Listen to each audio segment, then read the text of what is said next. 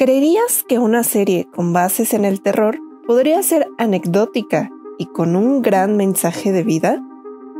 La maldición de Hill House utiliza la novela clásica de 1959 de Shirley Jackson, una serie que parecería centrarse en la temática de fantasmas, terror y disfuncionalidad que generan los traumas infantiles.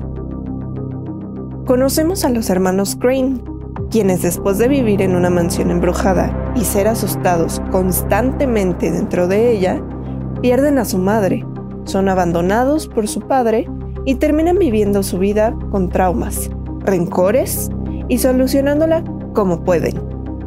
Es aquí donde en su adultez podemos analizar que esta serie utilizará el terror para acercarnos y enseñarnos algo más humano, el duelo.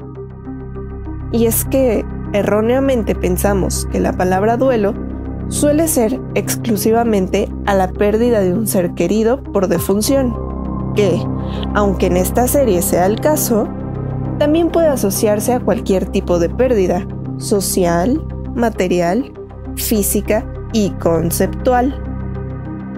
Nuestros capítulos nos cuentan la historia de los hermanos y a su vez nos presentan las etapas del duelo. Veremos la negación junto con el hermano mayor, aquel que insiste que su familia es disfuncional, que la casa no era más que una simple casa, y lucra como escritor narrando en un libro de fantasmas todas las vivencias que sus hermanos contaban. Pero finalmente, resulta que él, a pesar de negarlo, también vivió cosas como los demás. La ira, con nuestra siguiente hermana, que vive constantemente enojada por la situación, por el abandono y la pérdida, que su vida gira ante desquitarse con todas las personas que forman una relación social hacia ella, encontrando confort en trabajar en una funeraria. El dolor, la siguiente hermana, sensible ante toda situación, representada en la habilidad de poder ver las cosas solo con tocarlas. Se aleja del contacto físico como mecanismo a evitar el dolor que conlleva tener una relación con alguien más y de cualquier tipo. Todo llevado exclusivamente a usar la razón sobre todas las cosas y así convertirse en psicóloga infantil. Y finalmente, a los gemelos de la familia, los más atormentados de todos, pues ellos, a nivel terror, son quienes más sufren.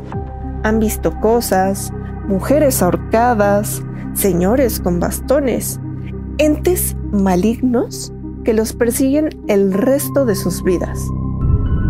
What if I dream that you sent us away into the dark and get.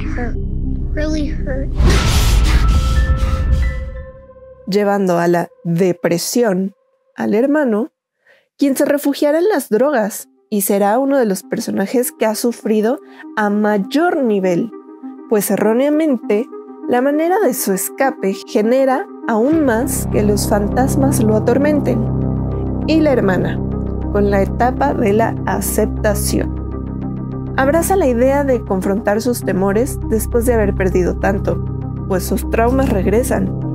Ve al fantasma que siempre la siguió regresando a su vida, y en una toma bellamente hecha, que te recordará haber visto la película de The Shining, regresa a la mansión, donde todo empezó, y es consumida por ella, volviéndose otro ente más del recinto, revelándote que su más oscuro temor y su propio fantasma ha sido ella todo este tiempo.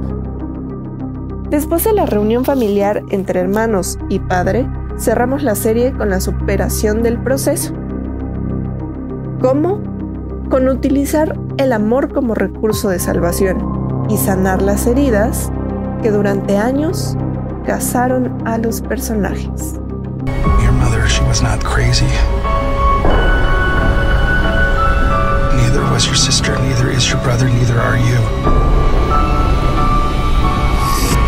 That house.